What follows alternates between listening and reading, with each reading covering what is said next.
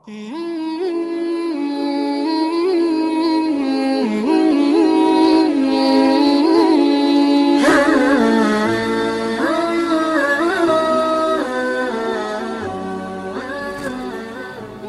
sahabat Indonesia, Assalamualaikum warahmatullahi wabarakatuh. Jumpa kita pada acara khusus Ramadan bersama Kanal TV Anak Bangsa. Sahabat bertanya, Ustadz menjawab. Pada kesempatan ini, saya akan menyampaikan pertanyaan-pertanyaan yang datangnya dari sahabat Indonesia yang sekian banyak, Pak Ustadz.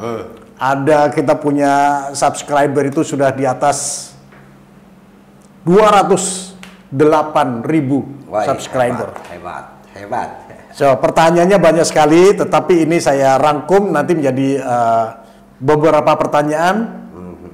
Nah, mungkin Pak Ustadz berkenan untuk menjelaskan sedetail-detailnya kepada para sahabat yang mempertanyakan hal ini. Siap. Nah, Pak Ustadz, kita tidak terasa ini sudah hari ke-16 kita melaksanakan ibadah puasa. Insya Allah lancar. Insya Allah. Insya Allah lancar. Sampai lebaran. Sampai lebaran. Oke kita langsung sahabat Indonesia. Saya akan sampaikan ke Pak Ustadz pertanyaan-pertanyaan dari sahabat Indonesia. Nanti Pak Ustadz yang akan menjawab. Yang pertama nih Pak Pak Ustadz, Pak Taufik Damas. Ini dari sahabat kita Rika namanya. Dia menanyakan, Pak Ustadz, saya ingin bertanya, mohon dijelaskan ukuran membayar fidyah sedetail-detailnya Pak Ustadz. Terima kasih banyak atas jawabannya. Silakan Pak Taufik Damas, silakan. Baik, eh, assalamualaikum warahmatullahi wabarakatuh, pemirsa Waalaikumsalam. anak, eh, TV Anak Bangsa yang mudah-mudahan selalu dalam keadaan sehat dan juga saya sangat eh, apa bahagia hari ini bisa bertemu kembali khususnya bersama Pak Dwi, Ya. host kita pada kesempatan kali ini. Mudah-mudahan kita selalu sehat dalam menjalankan ibadah puasa. Amin. Ini saya akan langsung menjawab pertanyaan yang tadi sudah dibacakan dari Mbak Mbak Rika. Mbak Rike tentang fidyah. Nah. Jadi fidyah ini memang kewajiban kita mengganti kalau kita sudah tidak mampu berpuasa. Oke. Ya, jadi kalau orang ada yang mungkin sakit dan sakitnya itu tidak bisa apa diharapkan untuk sembuh. Ya. Nah, ketika di bulan Ramadan itu dia tidak mampu berpuasa Ya. dan tidak bisa diharapkan juga untuk membayar puasa di luar Luar. bulan Ramadan karena sakit yang tidak mungkin untuk melaksanakan puasa, maka dia berkewajiban membayar fidyah. Oke. Nah, fidyah ini ukurannya ukurannya apa? Satu hari itu satu kali ngasih makan orang miskin. Yang kalau saya ingin menyederhanakan, kalau kita- kembali ke hitungan dalam eh, ilmu fikih klasik itu ukurannya satu sok. Suatu Satu sok. sok, satu sok itu artinya ya satu makanan pokok yang membuat orang kenyang gitu. Ah, nah, oke. kalau di zaman sekarang ini ya udah satu porsi. Jadi kalau satu porsi orang ke restoran eh, atau rumah makan sederhana kayak warteg gitu ya biayanya mungkin 25.000 25 ribu cukup. ya. Oh, Oke oke. Jadi kalau ibu bapak mau membayar fidyah ya kalau uang maka fidyahnya itu senilai 25.000 satu hari. Satu hari. Jadi kalau puasanya 10 hari yang ditinggalkan berarti 10 kali 25.000 ribu. Oh oke oke. Jadi oke. ngasih makan uang itu kita kasih ke orang-orang miskin untuk makan. Ya, oke. Itu kan 25.000 artinya itu udah satu porsi nasi, lauk pauk cukup, air Ya. ya kan. Nah, Mungkin kalau orang miskinnya yang kita kasih itu perokok ya masih bisa lah beli sebatang dua batang. Sebatang dua batang, Iya, oke, ya. cukup lah itu. Tapi Oke. kalau ada orang bilang, wah kalau 25.000 mah kecil buat saya. Gimana kalau saya jadiin 100.000? Tambah Tambah bagus. Gitu loh. Nah, Jadi kalau oke. puasanya 10 hari yang ditinggalkan berarti 10 kali 100 ribu. Satu Oke, juta. Satu juta. Iya, Jadi iya. kita bikin sesuatu yang simpel dan mudah. fidyah ya itu. Fidyah. Ah, Oke ya. Ada juga fidyah itu karena orang tua atau saudara yang sudah meninggal dunia. Hmm? Belum sempat dia itu katakanlah mengkodok puasanya. Di bulan Ramadan umpamanya dia meninggalkan puasa tiga hari. Iya. Nah, setelah itu pas lebaran entah kenapa dia meninggal dunia duluan umpamanya. gitu. Oke. Nah kan berarti dia tidak sempat mengkodok puasanya tuh, ya kan? Ya. Maka keluarganya ahli warisnya itu harus membayarkan Fidyah. tiga hari. Buat orang yang sudah meninggal dunia itu. Oke oke oke oke. Ya. Lain ceritanya kalau fidyah yang istilahnya itu simbolik ya. Kadang ada orang juga begini sudah ah barangkali ini orang tua saya dulu pernah meninggalkan puasanya, tapi jumlahnya berapa kita nggak tahu. Oke. Nah silakan itu bersedekah aja sebanyak banyaknya Ya, ya, gitu ya, ya. untuk menutupi kekurangan ibadah yang pernah dilakukan oleh orang tua atau saudara kita. Dengan bersedekah pahalanya kita kirim untuk orang tua. Oke, jelas nih, gamblang nih. Mbak Rika, jelas ya apa yang disampaikan eh, Pak Ustadz tentang pertanyaan dari Mbak Rika eh, mengenai pembayaran fidyah. Ini udah detail tadi disampaikan. Mudah-mudahan sahabat Indonesia juga bisa memahami itu. Pak Ustadz, selanjutnya ini pertanyaan. Kebetulan sahabat Indonesia atau subscriber eh, kanal TV Anak Bangsa ini dari Australia nih Pak. Oke, Hebat ya. Wah. Jadi memang seluruh dunia ini sudah mengikuti kanal TV Anak Bangsa. Alhamdulillah. Ini dari eh, dari Perth Australia. Namanya Dian Anjani. Pertanyaannya, Pak Ustadz, saya Dian Anjani, bekerja di Perth, Australia. Saya ingin bertanya kepada Pak Ustadz Taufik Damas. Waduh, udah jelas ini. Apakah hukum buat mereka yang ingin memaksa orang lain yang tidak berpuasa untuk menghormati mereka yang sedang menjalankan puasa? Bahkan dengan semena-mena menutup lahan pekerjaan orang lain, padahal sesama Muslim dan mungkin mereka yang berjualan itu sebenarnya sedang puasa, tapi karena tuntutan kebutuhan mereka, maka para pedagang itu harus tetap buka warung mereka di siang hari. Bukankah kita yang sedang puasa itu sedang ibadah? Ibadah kan hal yang paling personal kita kepada Allah. Bukankah dengan memaksa orang lain untuk menghormati itu termasuk ria? Terima kasih. Salam selalu untuk anak-anak negeri. Ini dari Dian Anjani di Perth Australia. Baik. Silakan Pak Ustadz. Pertanyaannya luar biasa. Kalau saya akan menjawabnya secara simpel, orang yang memaksa untuk minta dihormati, apalagi sampai minta warung ditutup dengan alasan supaya menghormati bulan Ramadan, itu hukumnya haram. Nah, Haram itu hmm, hukumnya. haram nih. Karena Nah. tidak ada ajaran di dalam Islam itu seperti itu, tidak ada. Bahkan yang ada di dalam Islam itu justru orang berpuasa itu diminta untuk menahan emosi, lebih rendah hati, lebih apa namanya beradab dibanding orang yang tidak puasa. Itu tujuan utama kita eh, diperintahkan untuk menjalankan ibadah puasa gitu loh. Dan harus ikhlas harus ikhlas sebagaimana disabdakan oleh Nabi syarat orang puasa itu iman dan ikhlas kalau tidak ada iman dan tidak ada keikhlasan maka puasanya akan sia-sia gitu oke, oke. dan aneh kalau ada orang berpuasa kemudian memaksa warung ditutup menganggap orang yang tidak berpuasa sebagai tidak menghormati bulan Ramadan itu aneh, Aneh, yang iya, iya, iya, iya. itu berarti dia memahami Islam memahami ajaran puasa itu tidak berdasarkan ilmu yang dijelaskan oleh para ulama berdasarkan Al-Quran dan Sunnah Rasulullah Sallallahu Alaihi Wasallam.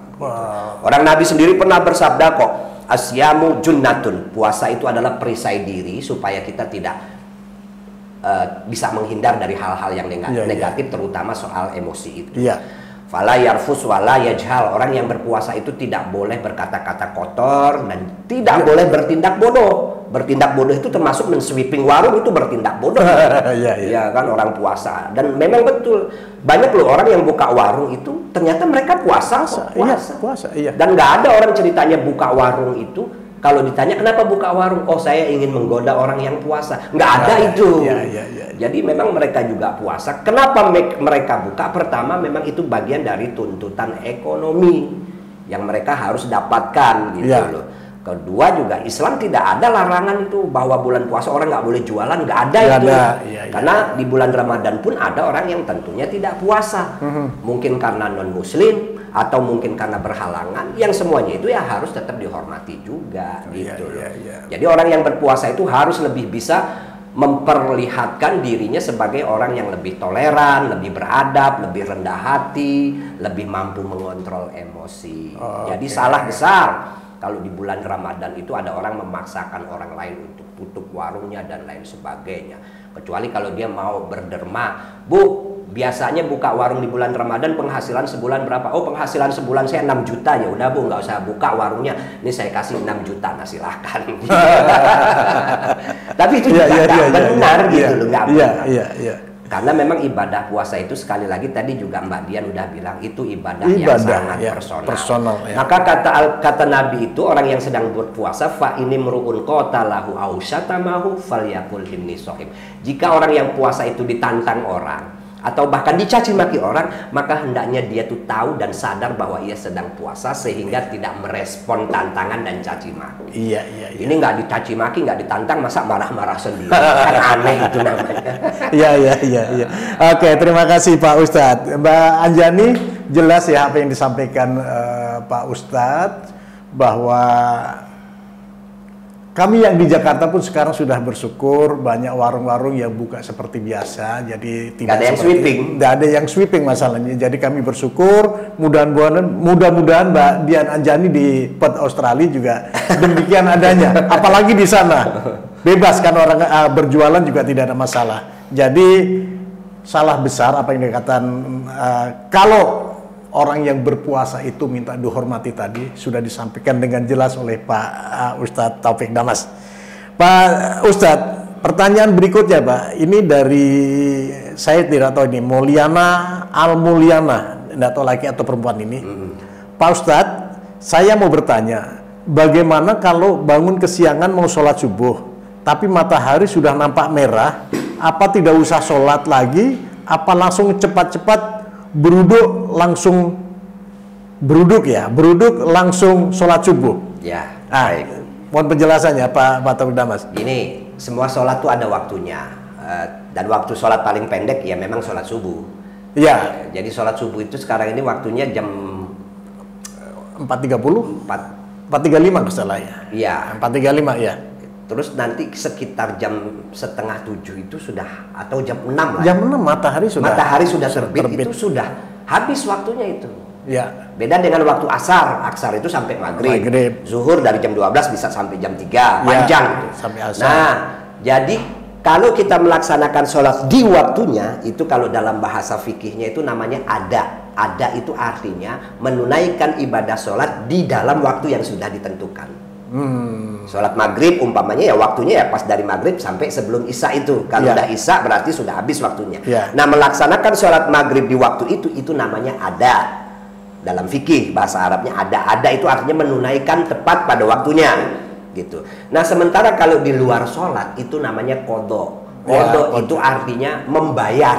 Hmm. Jadi kalau kita ketinggalan waktu sholat seperti yang ditanyakan ini karena kesiangan bangun subuh, ya seketika segera berwudu kemudian melaksanakan sholat subuh, tapi statusnya itu kodok, bukan Kodok. ada. Oh, Oke. Jadi membayar sholat yang sudah ketinggalan. walaupun matahari sudah Iya, jadi kewajiban sholat itu tidak bisa gugur walaupun waktunya sudah lewat. Cuma status sholatnya menjadi kodok gitu. Eh, Sama kayak maghrib umpamanya kita nggak sholat maghrib nih ketinggalan sampai isya. Nah, akhirnya ya udah sampai Iya, jam iya, iya. 8 umpamanya kita Mhm. ya jam 8 itu kita tetap wajib menunaikan sholat maghrib tapi kodoan artinya membayar membayar ya? karena sholat yang waktunya harusnya kita kerjakan dari maghrib sampai sebelum isya ketinggalan ya. jadi ya di luar waktunya kita menyelaksanakan dalam fikih disebut kodok gitu Oke, oke, mengkodok sholat Jadi memang sholat tidak boleh di- ditinggalkan Pak Ustadz. ya nggak boleh Harus. harus walaupun lewat Walaupun waktunya tetap kodok harus dikodok. Heeh, tapi ya tetap berusaha selalu di waktu sholat itu Oh, iya iya Yang iya. sudah Oke, ditentukan. Iya iya iya. Ya, sahabat Indonesia, ini uh, sahabat Mulyana Al Mulyana. Jadi menanyakan hal itu udah jelaskan Pak Ustadz. Pertanyaan berikutnya, ini dari saudari sahabat kita Riri. Pak Ustadz, katanya di bulan Ramadan setiap orang berdoa dikabulkan. Lalu kenapa saya berdoa tahun kemarin belum dikabulkan juga? Ya. Ya. Ini pertanyaan yang menarik. Ini kita harus jujur lah ya. Ya. Ini menyangkut teologi sistem keyakinan kita yang sering kali saya mengingatkan memang harus rasional. Ya. Jangan kita itu ber- ber- beriman, berkeyakinan, tapi sebetulnya agak ngawur-ngawur. Gitu. Gini loh, sebetulnya Tuhan itu sudah selalu mengabulkan apa yang kita Ya kita inginkan. minta. Iya. Nah, tinggal bagaimana kita mengejar apa yang kita inginkan dalam bentuk ikhtiar kita. Dalam bentuk ikhtiar. Ya. Nah, ikhtiar kita ini juga kadang-kadang kemudian menghasilkan sesuatu yang kita inginkan, ada juga yang tidak. Nah, semua itu terbungkus dalam apa yang kita kenal dengan istilah sunatullah. Dalam teori yang paling sederhana, sunatullah itu, kalau kita ingin kenyang, ya kita makan. Kalau kita ingin pintar, kita belajar. Belajar. Kalau kita ingin punya uang, kita kerja. Ingin penghasilan lebih, ya kerjanya harus lebih. Bukan cuma kerja keras, tapi juga kerja, Kerja cerdas. cerdas. Sehingga memiliki penghasilan yang lebih. Itu sunatullah itu. Ya. Termasuk dalam menggapai apa yang kita inginkan ketika kita berdoa. Jangan pernah berpikir bahwa Allah tahu-tahu memberikan secara ujuk-ujuk apa yang kita inginkan. Tidak ada yang seperti itu. Bahkan para nabi, para wali pun jarang yang mendapatkan respon doa secara langsung gitu. Hmm. Jarang, walaupun pernah gitu, Ya, ya, apalagi kita gitu loh. Ya. Karena Allah itu maha setia pada undang-undang yang Allah buat sendiri, yaitu sunatullah. Makanya di dalam Al-Quran itu ada penegasan walan tajidah di sunnatillahi tabdila. Yang namanya sunnatullah tidak akan pernah berubah itu. Ada orang cuma berdoa tapi tidak melakukan apa pun untuk menggapai apa yang dia inginkan, ya sulit tercapai gitu loh. Maka hidup ini harus seimbang antara doa dengan usaha. Usaha, ya. Harus seimbang. Tapi saya secara pribadi sering mengingatkan, doa itu minimal harus dipahami sebagai sandaran spiritual kita kepada Tuhan. Sehingga ketika kita mendapatkan apa yang kita inginkan, kita tidak lupa diri. Ya. Ketika kita tidak mendapatkan apa yang kita tidak yang yang apa yang, Apa kita, yang kita inginkan, inginkan. kita tidak putus asa. Hebat hebat. Gitu. Jadi doa itu yang paling penting bukan soal berpikir dikabulkan atau tidak, tapi kita memiliki sandaran loh, zat Nah. yang maha hebat, yang maha kuat sehingga kita tidak gampang stres dalam menghadapi hidup ini gitu. Iya, iya, iya, belum iya, dapat rezeki, belum dapat Dapat jodoh, jodoh, belum belum dapat dapat apa pun, apa pun, itu. ya. Ya tetap sabar, tetap berusaha, yakin bahwa suatu saat ada jalannya. Gitu. Oke. oke, Jadi oke, jangan sekali-sekali berpikir bahwa ketika berdoa langsung dikabulkan, nggak ada. ya, ini Mbak Riri ya. Jadi tidak mungkin juga ada doa yang instan dikabulkan, tapi ada juga ya doa yang harus tertunda. Tertunda Ya, pelan-pelan. tertunda pelan-pelan. Tapi tetap yakin dan tetap berusaha. Pak Ustadz, ini pertanyaan berikutnya nih. Pertanyaan banyak sekali Pak ini. Dari sahabat kita Putri namanya. Pak Ustadz, saya ingin bertanya, suami saya bersedekah tanpa seizin saya. Sedangkan kebutuhan rumah tangga belum tercukupi. Ini bagaimana Pak Ustadz? itu begini, kita itu memang dianjurkan untuk bersedekah. Tapi memang kita juga dianjurkan untuk memenuhi kebutuhan hidup kita dan keluarga kita. ya, Jadi kasih pengertian kepada suaminya bahwa memenuhi kehidupan keluarga, memberi makan anak dan istri, itu pahalanya jauh lebih besar daripada ngasih sedekah ke orang lain kalau istri dan anaknya masih kekurangan. Gitu. oke, itu jadi prioritas maksudnya. harus jadi Dia prioritas. ya. Jangan sampai kita bersedekah keluar di rumah kekurangan malah dosa itu. iya dong. Iya, iya, iya, iya. Betul. Jadi Iya. prioritas. Nah, nah soal kekurangan ini juga kadang-kadang relatif kan. Iya. Kadang-kadang kita merasa kekurangan tapi orang lain bilang "Oh, udah cukup dong seharusnya. Ini antara kebutuhan dengan gaya hidup kan kadang-kadang Iya, orang berbeda. ada kesenjangan itu. Tapi yang terpenting kalau yang dimaksud ini kekurangan dalam pengertian yang betul-betul kekurangan Ya. dan suami kemudian bersedekah itu salah suaminya. Oke, Karena harus yang diingatkan. kali- karena yang paling penting adalah memenuhi kebutuhan rumah tangga. rumah tangga dulu. Gitu. Sebelum bersedekah. Tuhan juga marah sama orang yang apa ya istilahnya itu sok-sokan lah yang begitu. Wah biar di luar kelihatan keren sementara di dalam rumah. Nggak boleh. Iya, iya, iya, iya. Oke, oke, oke. Eh, sahabat Indonesia, ini Mbak Putri ya, jelas ya apa yang disampaikan oleh ingatkan suaminya. Jadi prioritas itu adalah kebutuhan rumah tangga dulu terpenuhi, baru kita keluar untuk eh, melaksanakan apa eh, namanya bersedekah, Bersedekah. di luar. Ingat, memenuhi kebutuhan rumah tangga itu wajib. Ya, Sedekah ke orang itu sunnah. Ah. Pahala yang wajib itu jauh lebih besar daripada pahala yang Ya, sunnah. Iya, iya, gitu. iya, iya. Jelas ya, Mbak Putri ya. Ah, sekarang ini, wah ini laki-laki nih, Pak Ustadz. Namanya Iwan. Pak Ustadz, amalan apa yang paling banyak menghasilkan pahala di bulan Ramadan ini? Banyak, terutama sedekah. Nah, tuh Mas Iwan. Sedekah. Kenapa saya bilang sedekah? Karena Tuhan itu paling senang dengan orang yang bermanfaat buat orang lain. Kata Nabi Muhammad itu khairun nas anfa'uhum linnas. Manusia yang paling terbaik adalah yang memberikan manfaat kepada orang lain. Yang paling bermanfaat buat Yang orang untuk lain. orang Nah, lain, ya. Dalam konteks sebetulnya bukan cuma di bulan Ramadan lah. Di, di luar bulan Ramadan juga amalan yang paling banyak mendapatkan pahala itu ya sedekah. Sedekah. Maka ada kisah itu ketika orang meninggal dunia itu di dalam Al-Qur'an ada eh, laula akhirtani ila ajalin musamma. Ingin minta hidup lagi gitu. Jadi di akhirat itu mereka ingin kembali. Ketika nanti emang ngapain kalau dihidupin lagi? Saya ingin sedekah. Sedekah. Ah, gitu loh. Ada itu ayatnya kan Jadi, juga gitu. ya. Laula akhirtani ila ajal ajalin musamma itu hendaknya ya Allah kami minta dong hidupin lagi ke dunia. Emang ngapain kalau dihidupin lagi? Mau sedekah. Jadi bukan mau sholat, bukan lainnya dan lain sebagainya. Artinya ini juga apa menunjukkan bahwa ajaran Islam itu adalah ajaran yang sangat humanis Yes. Manusiawi gitu loh. Pasti. Bahwa sholat puasa itu ibadah yang Iya. luar biasa, tapi sedekah sholat kan nggak berdampak ke orang lain. Ya. Puasa juga nggak ber- nggak Berdampak berdampak positif ke orang lain. Ya. Itu hanya urusan kita pribadi. Tapi kalau sedekah itu sangat berdampak ke orang Kepada lain. orang lain. Orang yang tidak bisa makan jadi bisa makan. Dalam dalam ukuran yang besar ya, orang tidak bisa sekolah jadi bisa sekolah karena kita beri beasiswa. Ah itu dahsyat banget lah itu. Oke oke oke.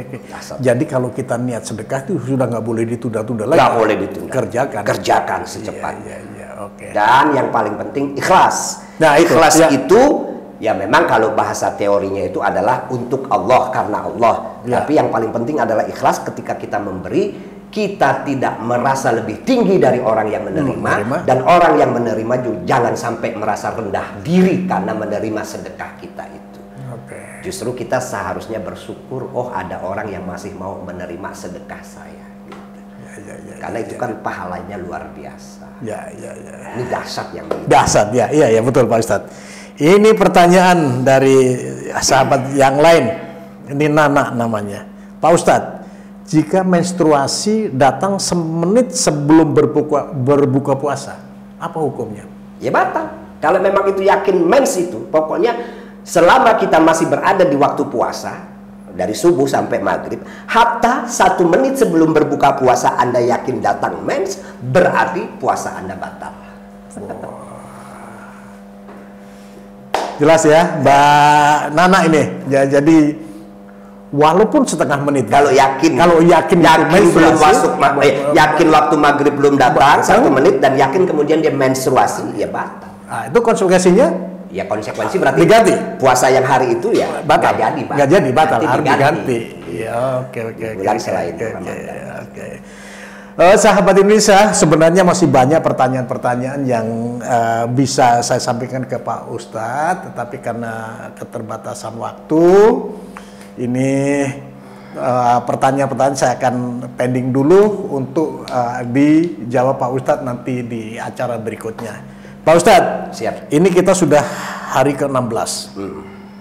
Barangkali ada pesan-pesan khusus untuk sahabat Indonesia nih, biar sisa puasa ini bisa kita laksanakan dengan sempurna Pak Ustadz. Betul. Pesan-pesan khusus itu sebetulnya saya ingin mengingatkan kepada semua orang bahwa kita berpuasa itu jangan sampai sia-sia. Caranya bagaimana? Belajar lagi tentang makna puasa, filosofinya, dan Filosofinya. tujuan kenapa Tuhan itu memerintahkan kita puasa. Itu penting sekali sehingga ibadah yang kita lakukan ini bukan cuma euforia ritual Iya. yang kemudian tidak menghasilkan pengaruh positif bagi jiwa kita. Dan saya sering mengingatkan, seluruh rangkaian ibadah yang diperintahkan oleh Allah kepada kita itu tujuan akhirnya adalah agar kita menjadi orang yang bertakwa. Nah, tanda ketakwaan ini adalah bisa dilihat dalam pergaulan sosial. Yang pertama, memiliki kedermawanan hati, mudah mengontrol emosi, mudah memaafkan orang lain dan Ya. selalu gemar berbuat kebaikan. Ini saja yang sering saya ingatkan kepada semua orang karena akan sia-sia kita beragama kalau tidak menghasilkan karakter yang bertakwa dalam diri kita. Iya iya iya. Yaitu itu tadi yang secara pergaulan sosial karakter orang bertakwa itu bisa kita lihat dan itu bisa kita korek untuk kita jadikan modal untuk mengoreksi diri sendiri. Iya iya. iya. Nah, soal nanti tambahan ibadah di malam-malam yang eh, menjelang apa sekarang mulai sekarang ini malam ke berapa 17 17 nanti. nanti. Terus sampai akhir kita perbanyak ibadah baca Quran malam itu ya masing-masing luar biasa. Oke. Terus begini Pak Ustadz, ini pertanyaan dari pribadi saya. Saya pernah mendapatkan pelajaran ya. Jadi eh, sukses atau eh, orang yang berpuasa itu hasilnya bisa dilihat setelah orang itu melaksanakan puasa. Hmm. Ada perubahan nggak? Misalnya eh, sebelum puasa, saya punya karakter saja, attitude saya begini-begini. Kemudian saya melaksanakan puasa selama satu bulan dengan segala amalannya. Nah, setelah saya puasa, katanya puasa saya berhasil. Kalau saya itu ada perubahan karakter di sini. Itu gimana gini, Pak? Ustadz? gini, gini. Saya itu tidak percaya dengan perubahan-perubahan drastis mengenai karakter orang. Oke. Itu pasti membutuhkan waktu yang Iya, iya, iya, sangat betul. gradual. Sama juga dengan orang eh, sering kali eh, menilai soal haji mabrur. Hmm. Katanya orang yang hajinya mabrur itu begitu pulang haji wah, akan terjadi perubahan drastis. Hmm. Ya kalau cuma perubahan ber- cara berpakaian mah gampang. Tapi Iya, kalau iya, iya. perubahan karakter orang itu Iya. nggak segampang yang kita bayangkan. Saya juga nggak nggak nggak nggak bisa menegaskan bahwa oh dengan puasa kalau orang puasanya itu bagus akan berubah drastis enggak.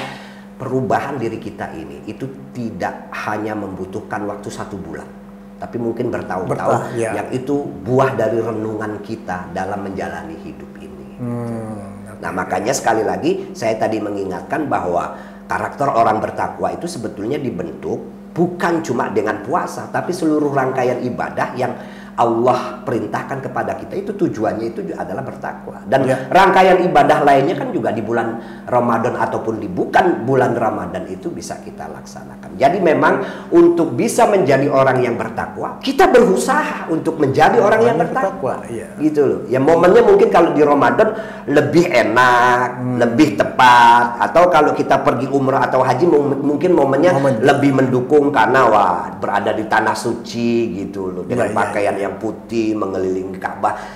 Itu soal pilihan momen, momen-momen tertentu memang lebih mendukung dibanding, yang tidak. Tapi proses perubahan kita menjadi orang yang bertakwa, menjadi orang yang hari demi hari lebih baik, lebih baik, lebih baik itu waktunya Proses. membutuhkan sangat panjang. Ada itu proses panjang. Iya, sama kayak orang belajar lah. Mau pintar juga kan nggak gampang. Iya. Nah, Nggak cukup belajar seminggu dua minggu. Oke oke oke oke oke. Terima kasih Pak Ustadz atas penjelasannya. Kemudian pertanyaan-pertanyaan tadi dari eh, sahabat Indonesia tadi. Mudah-mudahan apa yang disampaikan oleh Pak Ustadz bisa memberikan apa keimanan kita akan menjadi lebih lebih kuat lagi. Kemudian saya berharap mudah-mudahan di sisa waktu bulan puasa ini bisa dapat kita selesaikan dengan sebaik-baiknya dan Amin. insya Allah kita bisa melakukan itu semuanya. Amin. Terima kasih Pak Ustadz. Siap, sama-sama. Sampai Pak. ketemu nanti di lain kesempatan. Amin. Oke. Demikian sahabat Indonesia.